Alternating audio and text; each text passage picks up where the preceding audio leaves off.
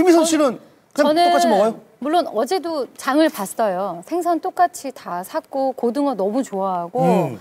그리고 또 고등어 마- 등푸른 생선 많이 먹으면 음. 좋다 그래서 여전히 많이 먹고 있어요. 예. 저. 같은 경우에는 먹긴 먹는데 국내산만 먹습니다. 네. 원래부터. 음. 예. 근데 방사능이 예. 계속 축척돼요. 아. 이게 먹이 사슬이 있잖아요. 어. 사람이 먹이 사슬의 꼭대기잖아요. 꼭대기에 있으면 이 농축이 돼가지고 근데 그렇게 사실 따지면. 육, 육류도 못 먹어요, 사실. 왜냐하면 네. 바닷물이 또 하늘로 가서 비가 돼서 내리고 그래서 또이 어, 그럼요. 계속 풀 순환되는 가야- 건데. 확률적으로 조금 이제 안전한 방법을 찾으려고 하고 그러는 건데 너무 괴담이 많아요, 사실. 아. 그러니까 괴담은 괴담일 뿐 사실 오늘 오늘 뉴스에 나왔죠. 그 동해, 네. 남해, 서해 다 어, 검사를 해봤는데 괜찮아요. 그리고 그리고 일단 뭐 음. 팔 8개 현인가 뭐 저희가 수입을 안 하기로 네네네. 했잖아요. 네. 여덟 개 현에서. 그건 좀 믿음직스러운. 아 근데 사실. 저는 얼마 전에 이제 그 일본에 잠깐 갔다 왔어요. 누가 이제 뭐 이제 같이 가자고 시간이 남아가지고 이제 머리 식힐 거 갔다 왔는데 간다고 그러니까 뭐 집에서도 난리고 왜 주위에서. 가냐고 그러는 거야. 하도 그러니까 그래서 제가 승질을 냈어요.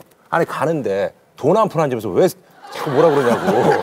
그래가지고 이제 갔어요. 근데 이제 하도 그러니까 아 그럼 가기 전에 그래 내가 저기 회 이런 거는 먹지 말아야 되겠다. 아. 그냥 고기만 좀 먹어야 되겠다 하고 갔는데 거기 가니까 그게 아무 의미가 없어. 어. 그냥 먹게 되는 거예요. 사람들 뭐 신경 안 쓰더라고요. 그래서 그냥 저도 먹고 왔는데 근데 뭐 저는 그냥 신경 안 쓰고 그냥 먹어요. 저는 예. 이모님 두 분이 다 일본에서 한 네. 30년 사신 아. 분이라 예, 지금 한 분이 집에 와 계시는데 거기서 이제 명란젓, 일본 명란젓이 좀 맛있거든요. 그거를 매번 오실 때마다 싸다 주셨어요. 근데 이번에 사가지고 갈까? 그러는데 제가 선뜻 대답을 못 아, 하는 거예요. 이렇게. 근데 사실 가족이 피부치가 일본에 사는데 저만 혼자 안전하게 살겠다고 아. 그걸 안 먹는 것도 되게 웃기잖아요. 그쵸. 근데도 이게 입 밖으로 잘 안 나오고 아. 시샤모 같은 것도 되게 좋아하는데 그것도 좀 근데 이게 사람마다 좀 차이가 좀 있지만 일본에서도 이 파가 있대요. 그러니까 얘기를 들어보면 안전파, 이 의심파가 있어서 아. 대립이 되게 심하대요.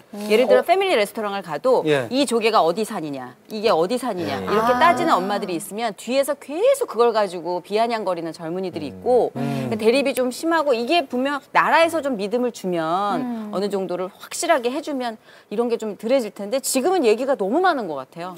오늘 우리 그 방청 오신 우리 관객분들 다들 제가 볼 땐 대학생분들인 것 같은데 어 나는 뭐 똑같이 먹는다 하는 분 나는 사실 똑같이 먹는다 손 들어보세요. 뭐 똑같이 먹는다? 어. 자, 손 내리고. 거의 반- 자, 뭐반 나는 좀, 좀 줄였거나 안 먹는다. 어, 예전보다 훨, 훨씬 어, 덜 먹거나. 아, 비슷비슷하네요. 음. 어, 오, 비슷비슷해요. 47대 53이었어요 지금. 아니, 아니, 근데, 생각보다 예. 저는 훨씬 더 이쪽이 많을 줄 알았거든요. 왜요? 왜냐면 이게 정말 심각하니까 이게 지금 좀 약간 이거는 농담 반 진담 반으로 얘기를 하면 이게 먹이 사슬이 계속 농축이 되잖아요. 2, 30년 후쯤에는 진짜로 이게 고질라가 진짜 나올 수도 있는 얘기예요. 고질라가 나온다고요? 그럼요. 이게 고질라가 아 이게 무슨 일이 아니에요. 진짜. 들어봅시다. 아니 진짜. 아니 고질라가 어떻게 탄생된 줄 아세요?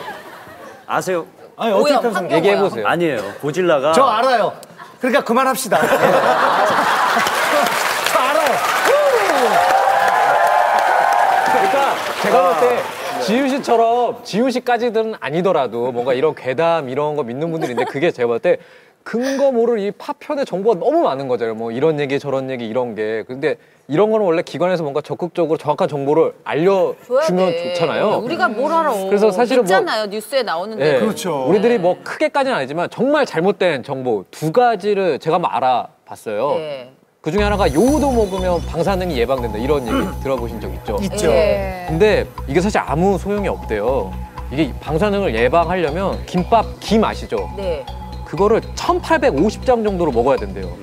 근데 그 양이 어느 정도냐면 300평짜리 집 바닥에 쫙 펼쳐놓은 양을 매일 근데 그것도 픽폭 직전이라 바로 직후에 먹어야 되는데 사실 그러기 쉽지 않잖아요. 그거랑 그 다음에 또 지윤 씨가 처음에 얘기했던 거 우리나라 이제 근해에 뭐 물고기가 왔다 갔다 뭐 이런 얘기 있잖아요. 근데 전화를 해봤어요. 실제로. 음. 그래서 국립수산물 품질관리원에 전화를 했는데 일주에 2회, 연근에서는 일주 1회 검사를 하는데 동해, 남해, 서해 다 괜찮고요. 여러 파편 중에서도 확실한 거는 우리나라 근해에서 잡히는 물고기는 괜찮다. 국내산은. 가까운 쪽에서. 네, 이거는. 예. 그래요. 뭐뭐 사실 김구라 씨도